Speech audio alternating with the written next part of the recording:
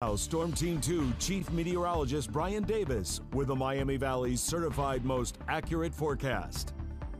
It was cool last night in the 50s. We're going to do it again tonight in our weather headlines, and warmer weather expected Tuesday afternoon should be back to the upper 80s. The heat and humidity build through midweek, and the rain chance that's going to be coming back Wednesday afternoon. And once it's here, looks like we'll have a chance of showers and thunderstorms Independence Day and also the day after.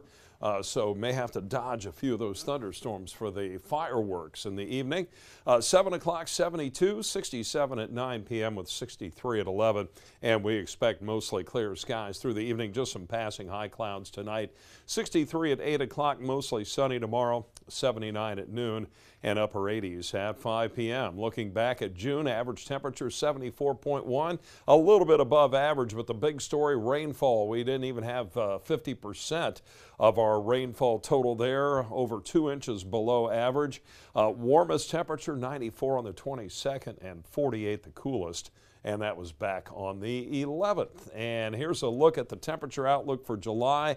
Uh, near normal temperatures northwest of us, a little higher probability of above for us. But with that kind of pattern, that means we'll probably have some of those warm, humid days followed by pleasant weather like we had uh, today. And precipitation about uh, equal chances of above, below, or normal amounts uh, going through July. We'll see temperatures come on down uh, through the 60s here, down to the 50s past midnight around 3 a.m. Highs tomorrow, mid 80s north, mid to upper 80s north, and it looks like mostly in the upper 80s over the southern half of our viewing area south of I-70. And then it's going to be hot and humid Wednesday, upper 80s north and some low 90s south, along with that chance of afternoon thunderstorms. Mostly sunny right now out in Greene County. There's traffic on 35, Jeff Schmidt Auto Group camera, live Doppler 2 HD. It is dry over our area with high pressure up across the Great Lakes controlling our weather. Right now 76 and east wind at 11 miles per hour.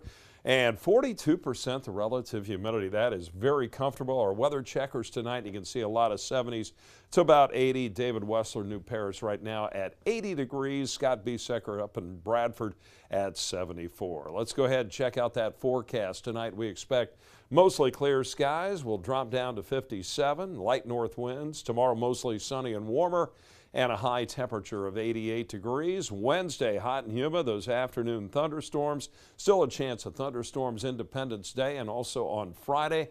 Should dry out Saturday and Sunday, a little bit cooler. Uh, normal weather, 60s for lows, highs in the 80s.